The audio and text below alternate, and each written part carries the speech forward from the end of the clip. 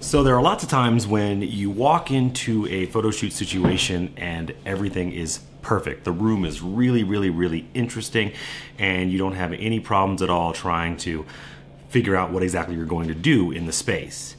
But there are times when you walk into a room and you kind of go, I don't know. So for this shoot, I'm kind of cheating a little bit because I know that the room is very, very tiny and very, very, very plain. But with that in mind, I'm going to be using a wide angle lens. Uh, this is the Fuji 16 to 55 millimeter. It is new to me. This is going to be the first shoot that I'm using, so I'll give my thoughts about that later on in another post. This is my uh, X Pro 2 70 to 200, which I don't think is going to get too much use in this shoot since it's just a little bit too long. And on my uh, backup, I've got the uh, 35 millimeter f2. I've got some atmosphere aerosol spray that I think I'm going to try and use to uh, add a little bit of mood and grit to the shot. I have a uh, soft lighter over here. We've got our C stand.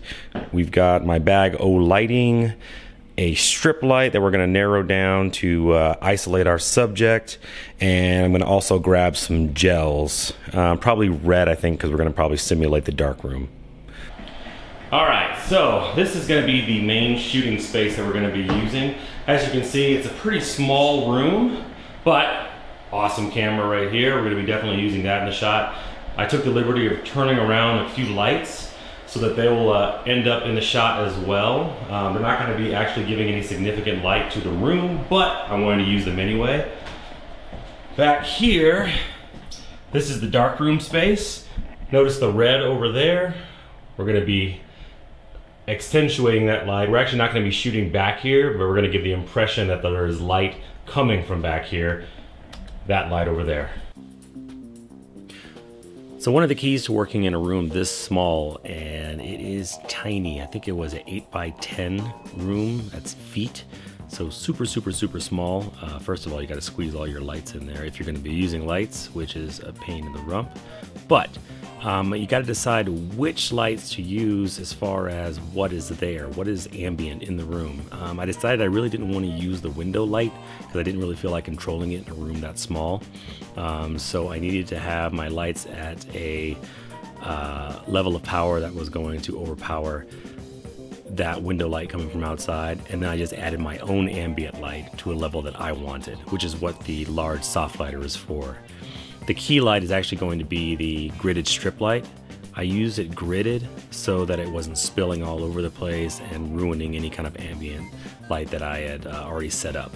Um, I put it right over there because I didn't want all the light coming from the left side of the room, camera left.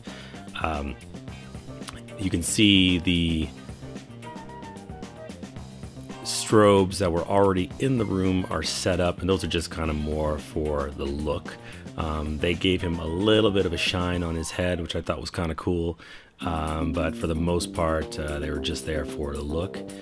And I gave a little bit of the atmosphere spray just because I figure it's a little bit clinical and a little bit too clean if there's not just a little bit of an ambient haze in there. Um, and I think that kind of adds to the mood of the shot.